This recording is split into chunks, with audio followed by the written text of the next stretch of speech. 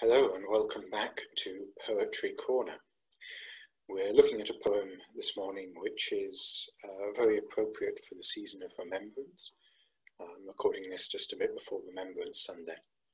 It's a poem by G.A. Studdert Kennedy, Geoffrey Anketell Studdert Kennedy, uh, better known often by his nickname amongst the troops of Woodbine Willie.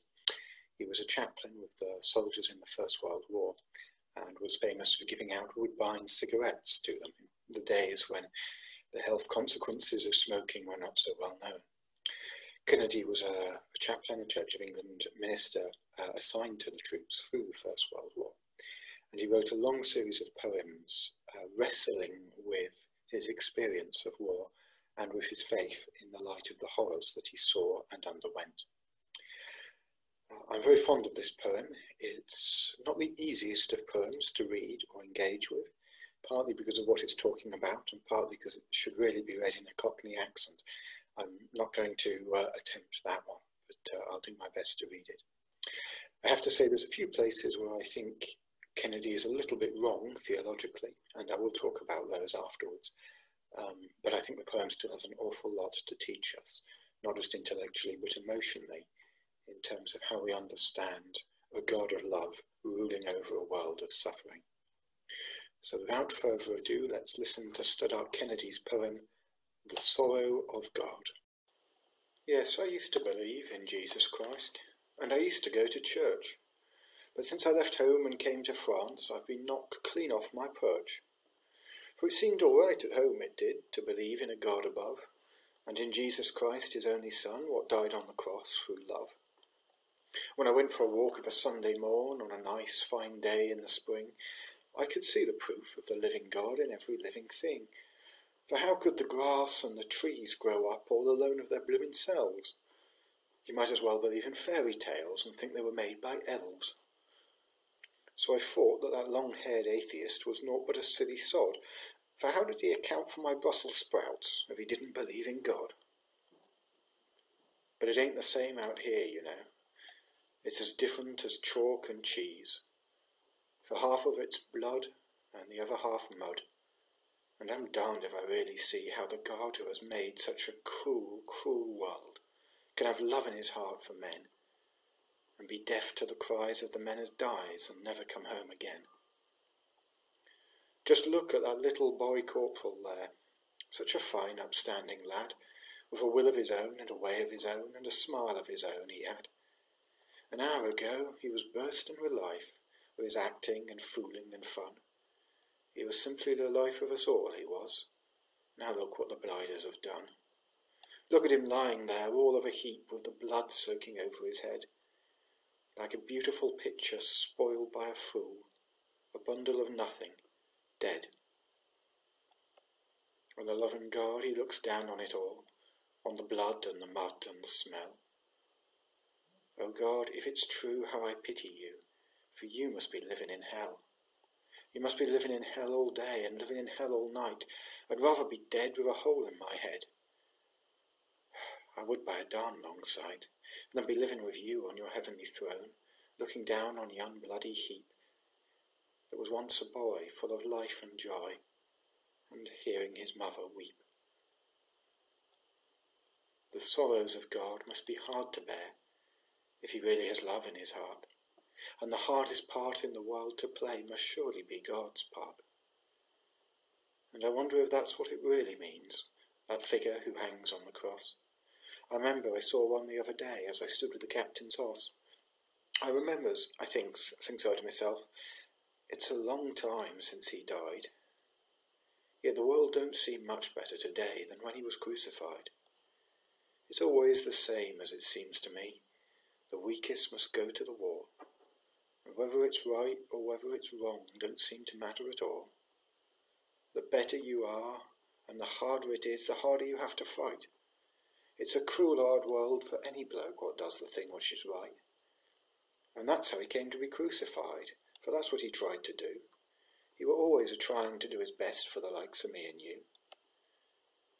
Well, what if he came to the earth today, came walking about in this trench, how his heart would bleed for the sights he'd see and the mud and the blood and the stench.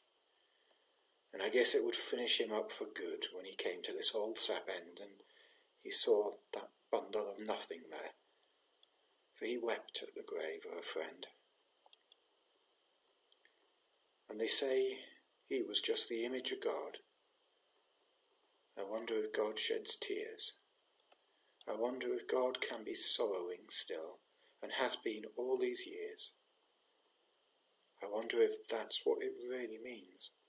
Not only that he once died, not only that he came once to earth and wept and was crucified, not only that he suffered once for all to save us from our sins, and then went up to his throne on high to wait till his heaven begins, but what if he came to earth to show by the paths of the pain he trod, that blistering flame of eternal shame that burns in the heart of God? But why don't you bust this show to bits and force us to do your will? Why ever should God be suffering so and man be sinning still? Why don't you make your voice run out and drown these cursed guns? Why don't you stand with an outstretched hand out there betwixt us and the Huns? Why don't you force us to end this war and fix up a lasting peace? Why don't you will that the world be still and wars forever cease? That's what I'd do if I were you, and I had a lot of sons who squabbled and fought and spoiled their home, same as us boys and the Huns. And yet, I remember a lad of mine. He's fighting now on the sea, and he was a thorn in his mother's side and the plague of my life to me. Lord, oh, I used to switch that lad till he fairly yelped with pain. But fast as I thrashed one devil out, another popped in again. And at last he grew up a strapping lad, and he ups and says to me, My will is my own, and my life is my own, and I'm going, Dad, to sea. And he went, for I hadn't broken his will, though God knows how I tried, and he never set eyes on my face again till the day his mother dies. Well, maybe that's how it is with God. His sons have got to be free. Their wills are their own, their lives are their own, and that's how it has to be. So the Father God goes sorrowing still for his world which has gone to sea. But he runs up a light on Calvary's height that beckons to you and me. The beacon light of the sorrow of God has been shining down the years, flashing its light through the darkest night of our human blood and tears. There's a sight of things which I thought were strange, as I'm just beginning to see. Inasmuch as you did it unto one of these, you did it unto me. So it isn't just only the crown of thorns that has pierced and torn God's head. He knows the feel of the bullet too, and he's had his touch of lead. And he's standing with me in this here sap, and the corporal stands with him, and the eyes of the laddie is shining bright, but the eyes of the Christ burn dim. Oh, laddie, I thought as you'd done for me and broken my heart with your pain. I thought you'd taught me that God was dead, but you've brought him to life again. And you've taught me more of what God is than ever I thought to know, for I never thought he could come so close, or that I could love him so. For the voice of the Lord, as I hear it now, is the voice of my pals that bled, and the call of my country's God to me is the core of my country's dead. Well, as I said, it's a powerful poem, not the easiest of poems to engage with. Let me walk us through it, and then I'll give us some reflections upon it. The poem, of course, is in the voice of a soldier caught in the horror of France, who was unquestioningly, unthinkingly Christian before he became a soldier, found it easy to believe in God when everything was going well, and found himself questioning how the world could be made and ruled by a God of love in the face of the horrors he saw of the war. A common experience, I think, for many, whether it's war that shakes their faith or personal bereavement or any of the other nasty things we come across in this world. But the poet's story, the, the speaker's, the narrator's journey, doesn't stop there because he keeps reflecting and says, well, hang on a minute. If there is a loving God looking down on all this, if he sees and knows everything that happens on earth, then he sees all the horror, all the sorrow, sorrow, all the suffering brought about by human sin and rebellion. He sees the dead soldier and he sees and hears the weeping of the soldier's mother. He sees the pain of the parent whose children are starving to death in Africa, the pain of the young woman trafficked um, internationally, the pain of those dying of COVID 19. He sees it all. He feels it all. The sorrows of God must be hard to bear if he really has love in his heart, and the hardest part in the world to play must surely be God's part. And so the poet reflects on the cross and says maybe the cross is not just the historic suffering of Jesus 2,000 years ago, but also a reminder of the suffering of God for thousands of years as he looks down on the human beings that he loves, fighting, dying, starving, sickening in a world that is poisoned by sin and by evil.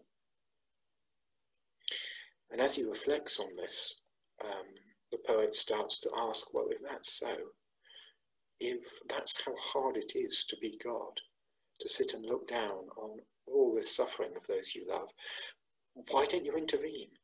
Why don't you bust this show to bits and force us to do your will? Why don't you just make your kingdom come and make everyone do right? And yet, as he thinks on that, he reflects on a son of his own and how the son had to have his own free will and make his own choices, even when those hurt him as, as his son's father, um, culminating in his son going off to sea against his wishes. And he says, well, maybe it's like that with God. If he's going to give us free will, he has to give us free will. If he's going to let us choose our own way, he has to let us choose the wrong way. And so the Father God goes sorrowing still for his world which has gone to sea. But he runs up a light on Calvary's height that beckons to you and me. The beacon light of the sorrow of God has been shining down the years, flashing its light through the darkest night of our human blood and tears.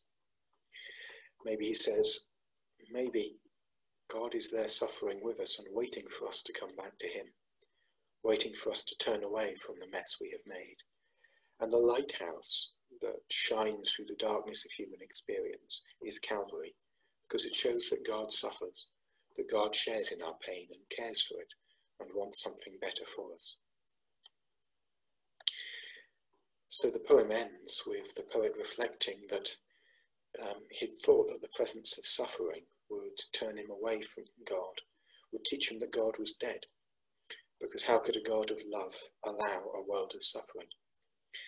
But as he reflected on it, and particularly the death of this young corporal, he realized that the truth is much higher and greater than that. That a God who gives his people, his children, free will, must allow them to suffer, must allow them to choose wrong, uh, wrong paths that have consequences. If our choices and our freedoms are to be real, then the consequences of them must be as well. So if God is going to give us the dignity of being beings with choice, beings with free will, beings that are more than programmed robots. If he's to give us the dignity of significance, he has to give us real choices with real consequences, even when that means we suffer and therefore he suffers. Because however much human beings suffer in this world, God of love is going to suffer more if he sees it and shares in it and feels for it.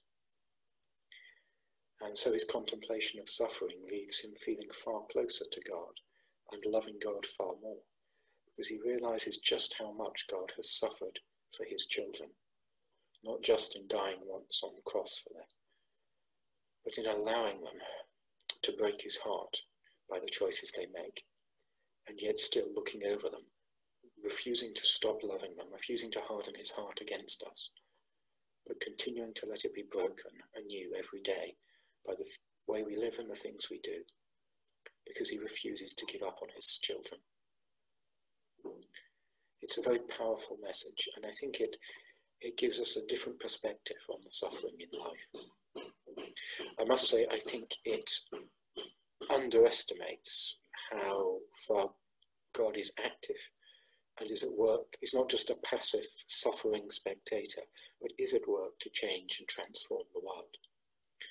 He comments that things don't seem much better today than when Christ was crucified, and you can see why he felt that, but as a historian, things are an awful lot better than they were 2,000 years ago. But they still have a very long way to go. The world is still full of suffering. And God allows it because He allows us to have choices with consequences.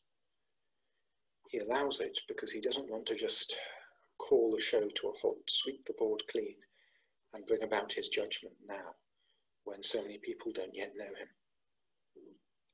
The Bible says that the reason the world hasn't ended yet is that God is patient, not wanting any to perish, but for all to come to repentance.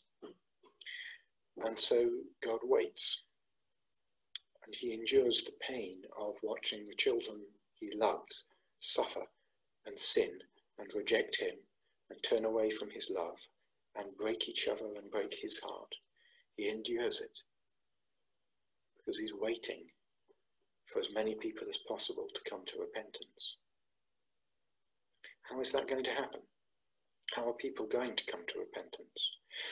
How is the world going to be changed without God overriding free will? How is it going to be changed in a way that reflects human choices? respects human responsibility? Well, it's going to happen as people choose to live differently, as they choose to follow God in Christ as they choose to repent and believe and be forgiven.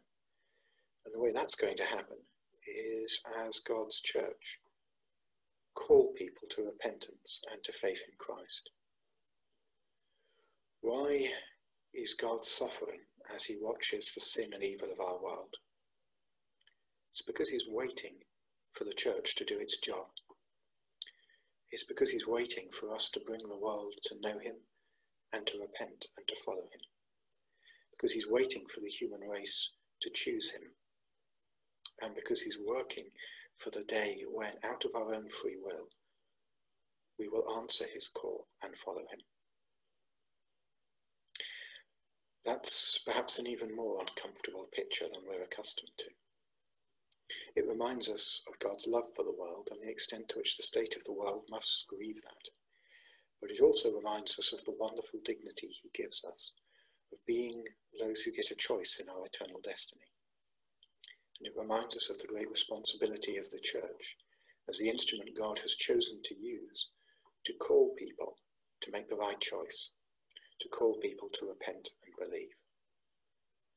I hope that can be a comfort and a challenge to us as we come to this Remembrance Sunday. God be with you.